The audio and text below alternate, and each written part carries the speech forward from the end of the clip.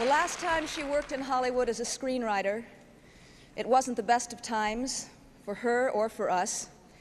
It was, in her phrase, a time of scoundrels.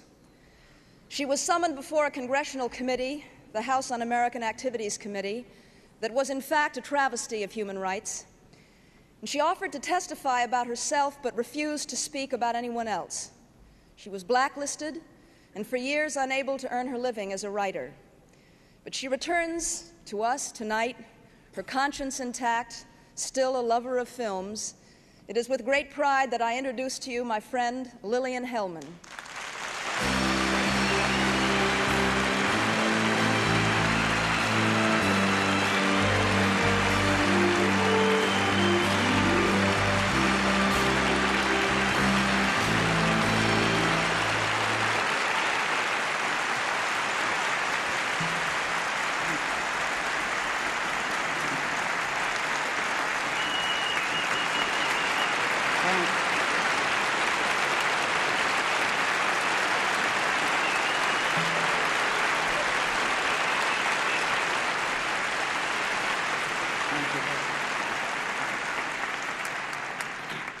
I'm very grateful to you. Thank you very much.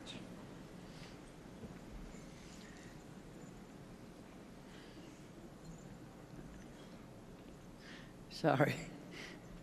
Can't seem to look. Thank you very much. Thank you.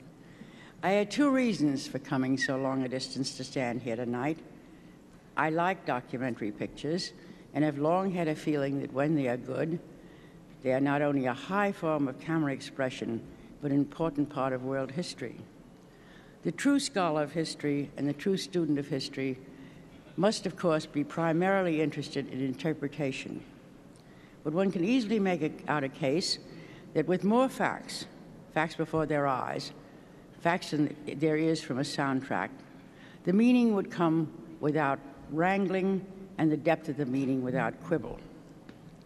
For the young, what could be better than to see on film what is hard, sometimes, what is hard to understand sometimes in quite heavy prose? The faces, the speech of real men and women in peace and in war, in the Arctic or on a southern rock, when shown by a good and true documentary filmmaker, leave us alone to test ourselves. Such filmmakers from the very earliest days to these have often worked in danger. One thinks of the wonderful pictures of the Spanish Civil War and World War II, and they have always worked without sufficient reward. These men are in many ways the advanced soldiers of picture making, and it is possible that those of us who write or direct fiction stand on their shoulders and should, at the very least, say thank you. My second reason for being here is perhaps only important to me. I was once upon a time a respectable member of this community. Respectable didn't necessarily mean more than I took a daily bath when I was sober, didn't, didn't spit except when I meant to, and mispronounced a few words of fancy French. Then suddenly, even before Senator Joseph McCarthy reached for that rusty and poisoned axe, I and many others were no longer acceptable to the owners of this industry. Possibly they were men who had been too busy to define personal honor or national honor. Possibly. But certainly, they confronted the wild charges of Joe McCarthy with the force and courage of a bowl of mashed potatoes. I have no regrets for that period. Maybe you never do when you survive, but I have a mischievous pleasure in being restored to respectability. Understanding full well that a younger generation who asked me here tonight meant more by that invitation than my name or my history. I thank them for that because I never thought it would happen. And to make them and myself feel better, I hope that the rest of my life will not be too respectable.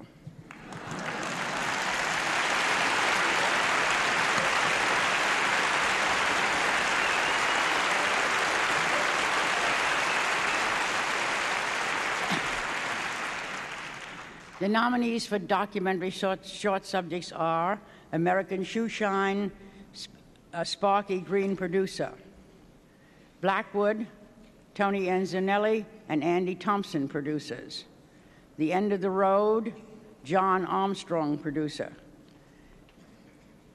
Number Our Days, John Littman, producer. Universe, Lester no, Novros, producer, sorry. And the award goes to Number Our Days, Lynne Littman.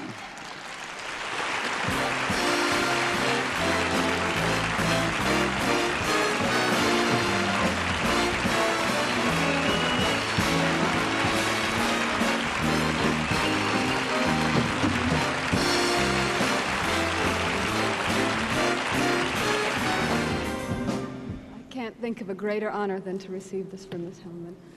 Thank you.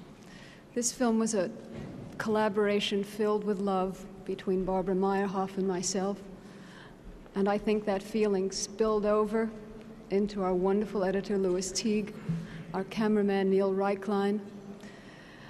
Um, I'd like to thank public television for allowing me to break all the rules and spend a little more money than I should have. I'd like to thank the man I love for not allowing me to break us up.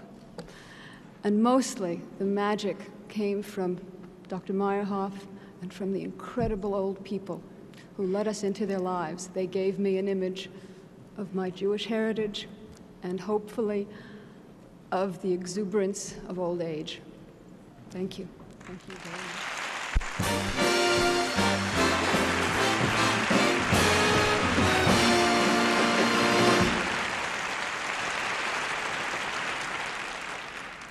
The nominees for the feature documentaries are Harlan County, USA, Barbara Kopple, producer. Hollywood on Trial, James Gutman and David Helpern Jr., producers. Off the Edge, Michael Firth, producer. People of the Wind, Anthony Howarth and David Koff, producers. Volcano, an inquiry into the life and death of Malcolm Lowry, Donald Brittain, and Robert Duncan, produces. And the winner is Harlan County, USA, Barbara Kopple.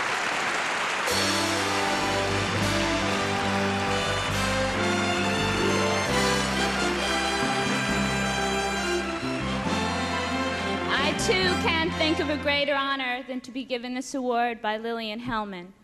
Many people worked on this film, donating their time and energy, and without it, it could never have been made.